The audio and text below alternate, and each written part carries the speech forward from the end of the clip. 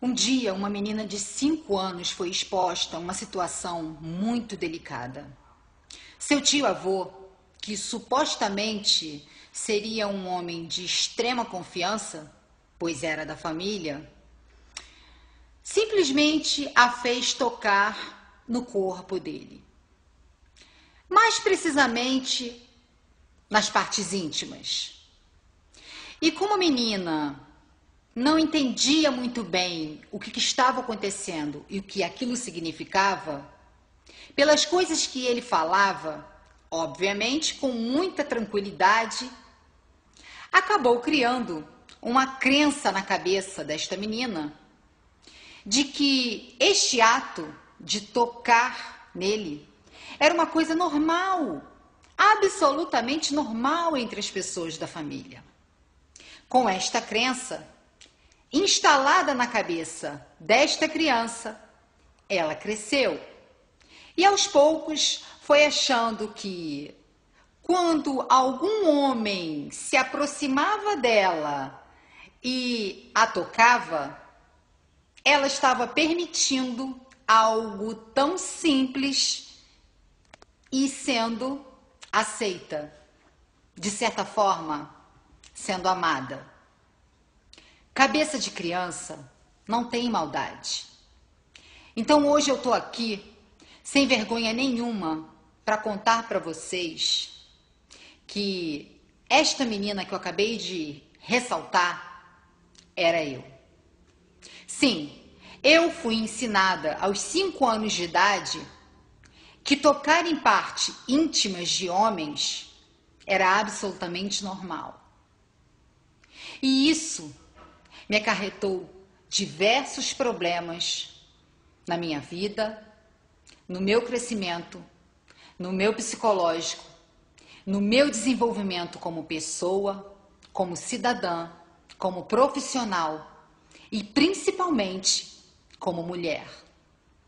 Foi instalado na minha mente, no momento que eu devia estar sendo tratada, protegida, ou estudando, ou brincando no parquinho, ou penteando o cabelo de uma boneca, que aquela fornicação era algo absolutamente normal.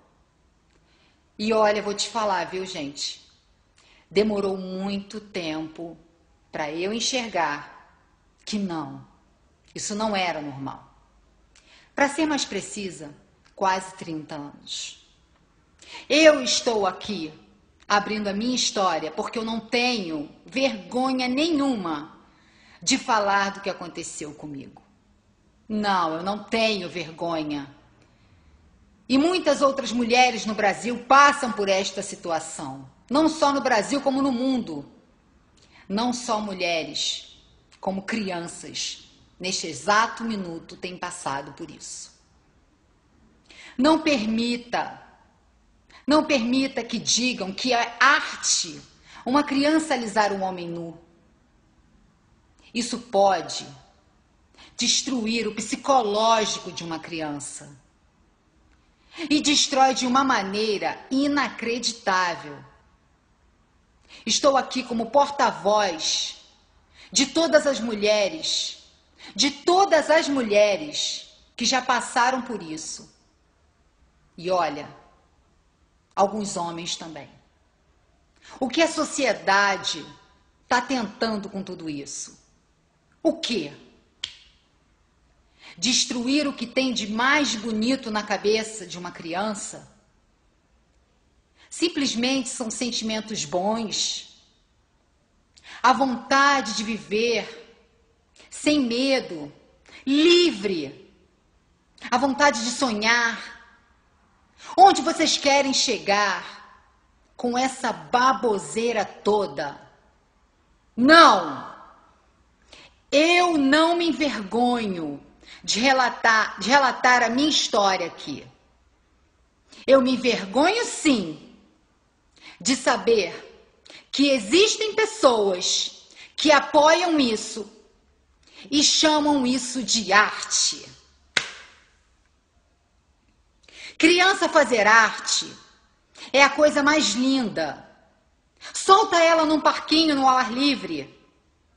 Compra três latas de tinta e deixa ela cagar a casa inteira com cores multicoloridas. Fazer arte é pular o muro e roubar a goiaba da casa do vizinho. Fazer arte é tocar a campainha e sair correndo. Que vergonha que eu estou de dizer que sou da mesma espécie que você, que chamou isso de arte. Passe pelo que eu passei. Viva o que eu vivi. Viva o que eu vivi para chegar até aqui.